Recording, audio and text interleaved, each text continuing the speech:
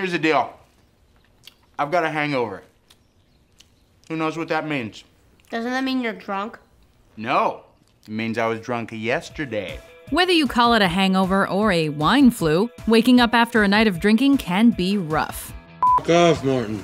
Welcome to WatchMojo.com, and today we're counting down our picks for the top 10 hangover remedies. Best hangover remedy I know. Five minutes with your feet over your head, followed by a three mile jog, then a quick swim in the ocean. It's better than coffee and aspirin. Want to try? You want coffee and aspirin. For this list, we're looking at the most popular things people do the morning after a night of heavy drinking to relieve their queasy stomachs, pounding headaches, and general sense of ugh. And please remember, this video is for entertainment purposes only. Thanks. Number 10. Sleep. Up and at 'em, let's do this. A night out drinking can significantly impact your sleeping habits, as most people don't get home till early the morning after. My head really hurts. Let's just speed this along. While alcohol will cause you to fall asleep almost instantly, it doesn't necessarily guarantee a good night's sleep.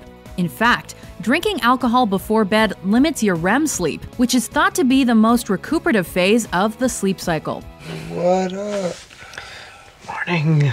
Sleep deprivation can make you feel much worse in the morning and intensify your hangover symptoms. What am I doing in this bed? Did I sleep here last night? I fucking nail you? Are you still drunk? If you have the option to stay in bed and sleep the day away, do it. Guaranteed, you'll feel much less irritable, tired, and gross overall.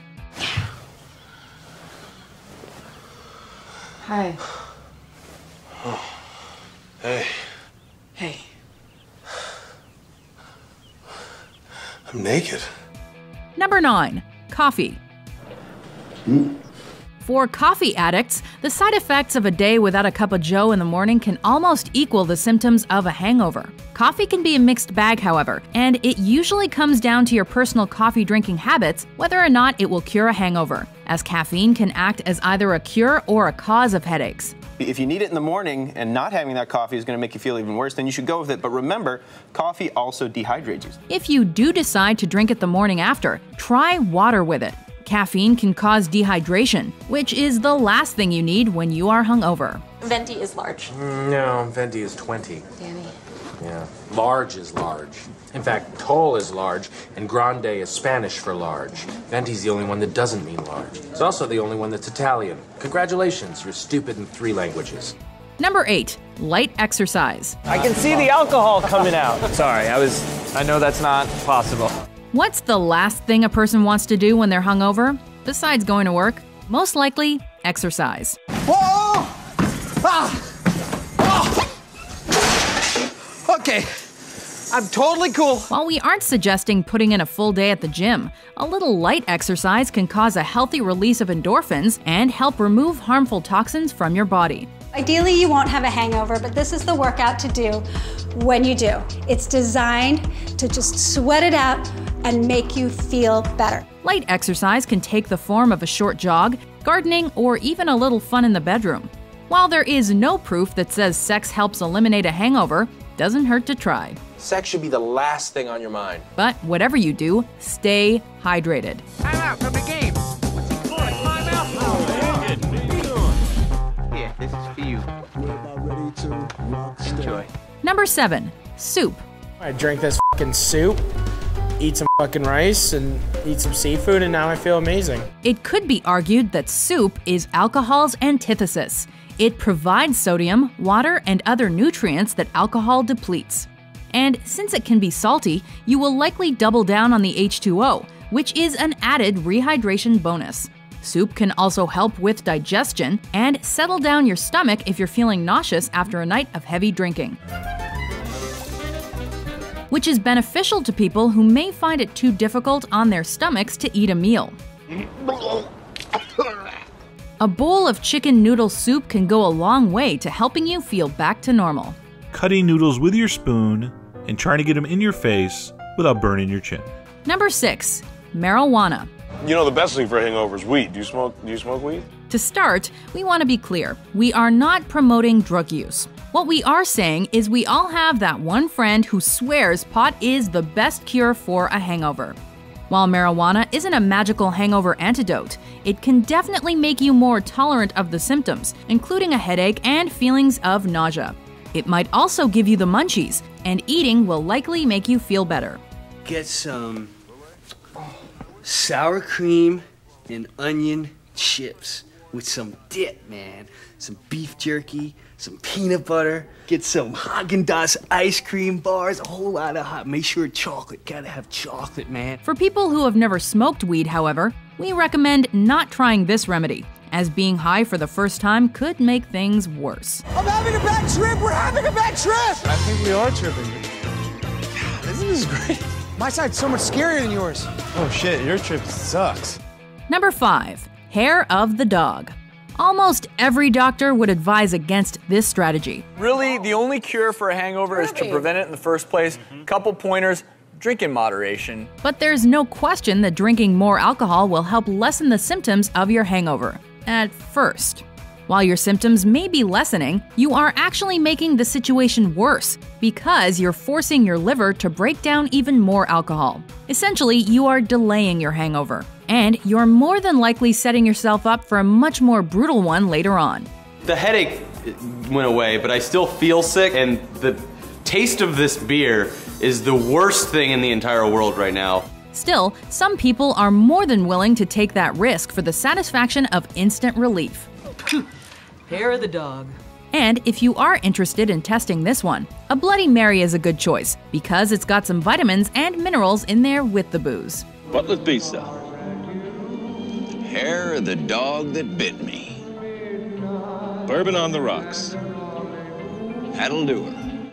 Number 4. Pills. Jesus, John. You look like shit. What do most people do when they have a headache or feel sick? They take pills, specifically painkillers. If you are still functional when you get home from the bar, you can try taking painkillers before you fall asleep and again when you wake up. However, be careful. Tylenol or other acetaminophen products are harsh on your liver, which is already working harder than usual to metabolize all the alcohol you drank the night before. While aspirin type pills can cause stomach bleeding. If you want something a little more natural, vitamin supplements like B6 and B12 can also help make you feel better. If you do use it because it makes you feel better, just go with uh, a couple of them. Don't overdo it. Number 3. Sports drinks. Yo, Gatorade me, bitch.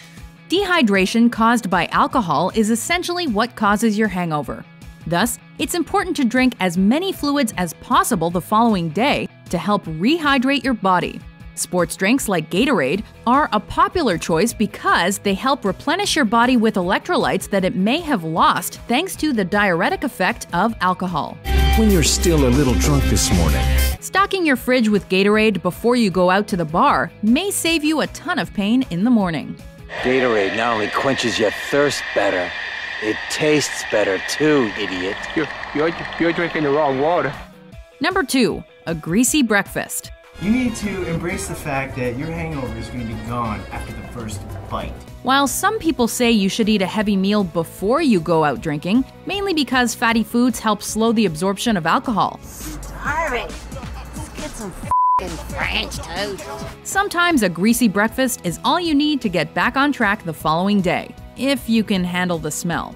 Eggs contain cysteine, an amino acid which is required in the breakdown of alcohol to acetate. Loading up on eggs, toast, and bacon should help calm your stomach down. While research doesn't support greasy food as a cure for a hangover, sometimes satisfying your appetite is all you need to get the day started. However, if you do have a hangover, this big old boy will cure that for you, you know what I mean? Before we unveil our number one pick, here are a few honorable mentions.